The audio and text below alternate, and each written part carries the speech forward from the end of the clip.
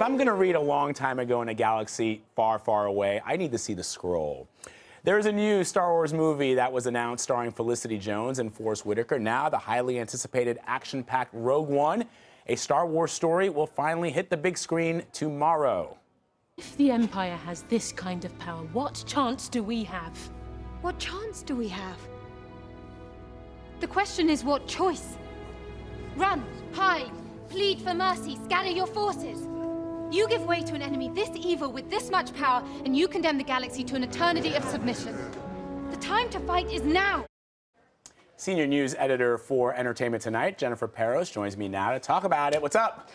Not much. How are you? I'm well. I'm excited. Excited Like- to see a lot of movies this weekend. well, I'm, no, I'm only seeing one movie. I'm seeing Rogue One, Okay, probably you're- one of those. two or three Are times. you? Yeah, yeah. I of think there's a lot of people that share the same enthusiasm as We are you. many, Jennifer. We are we are legion. I know. I'm sure. Well, listen. Hey, this is probably the most anticipated movie of 2016. So I definitely do think that this is going to be the one to watch, and you know, end the year with a huge bang. What what is the buzz? What is the buzz? I mean, I know what the nerd buzz is because Yeah. I'm on all the blogs. But what are what is the industry saying? Listen, the, the buzz, uh, what the industry is saying right now is yes, it's of course a highly anticipated, long-awaited film. We only, oh, we also just got one about a year ago. Right. I mean, we had to wait what 12 years for the last one to come Except out. that that one a year ago, which I mean, it breaks my heart to say this, was a retread of Episode Four, which is the first Star Wars. And this is new. I mean, Yeah. you have a new cast, you have Yeah. a whole new plot line, everything. So a lot of people are just really excited for a fresh new take Hmm. on this, of course, really famous franchise. Of, of course, you can't compare this yet just to Rogue One. I mean, Rogue One, I think, brought in two billion dollars overall. Of course, what you know. Researchers are The expecting Force Awakens. Force Awakens. Yeah, I'm sorry. yeah. Uh, the researchers are expecting Rogue One, of course, to bring in about 300 million dollars this weekend Wow. alone, which is huge, of course. Um, but yeah, you know, for a movie that a lot of people didn't have to wait too long for, just a year, this is going to be a really nice, fresh take on and it. also Darth Vader's in it. At least it's been teased. that We've seen him in some of the the. Uh, and Felicity Jones is getting a lot of a lot of award buzz for her role in this one. Yeah, yeah, uh, Jennifer. Darth Vader's in it. I, Felicity Jones is great, but Darth All Vader, Darth. Vader's in it. exactly. I right. love how excited you are. I'm, really There like too excited, probably.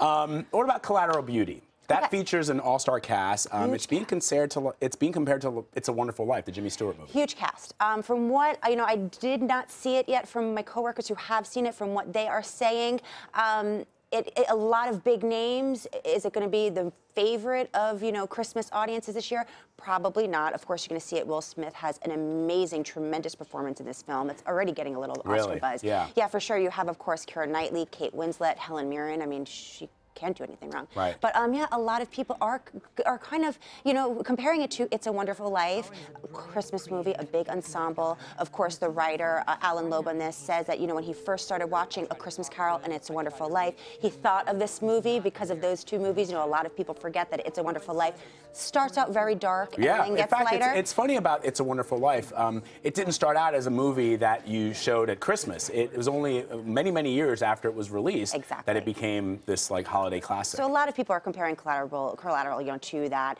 Um, but a lot of people, again, are probably going to go out this weekend to see that. And of course, it's probably the worst weekend to open up your movie this year against Why? Rogue One. Oh yeah, duh. I yeah, mean, of course, come yeah. Because is I'm only going to see Rogue One. Exactly. Even though the the other movie I want to talk about, August Wilson's Fences, Amazing. It's got Amazing. Denzel in it, Viola Davis. Um, this is from a, uh Broadway revival that was done in 2010, um, which was incredible.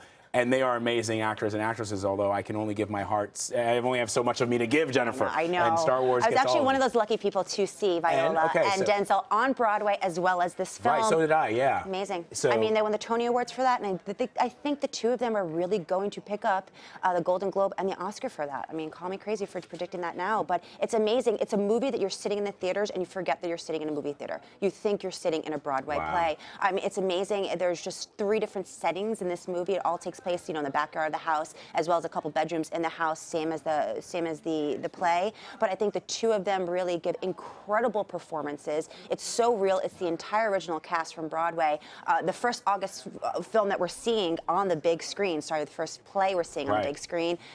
This is, one Yeah. that you're not going to want to want to miss. So I know you have to see Rogue, I but Fences, Several please times, make number two. all Please make this number two. Um, I did love the play, so it's definitely it's number two on my list. Um, did, uh, did your sources mention to you that there might have been a little tension during the shooting of the film? Have you heard anything about that? No, I haven't. Yeah, I there was a, because because the play was so wonderful, and I just thought that perhaps it, transporting it to film might have made it more difficult for some of the cast members. well, hey, can but- you actually think off the top of your head which amazing play was actually done really well on the big screen?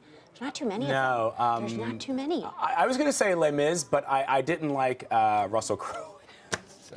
As Javert, Javert, he was okay, but I mean, I could have had a better Javert. yeah. But of course, it's you know it's tough to put such an iconic play on the big screen. Yeah. I think they actually did it this time. Yeah, yeah. All right, all right. We'll be watching this weekend. I'm sure a lot more people will see those other movies and not just Rogue One. Exactly. Stay Jennifer warm out there. Thank you so much for stopping by, Jennifer. we Thank you. appreciate it.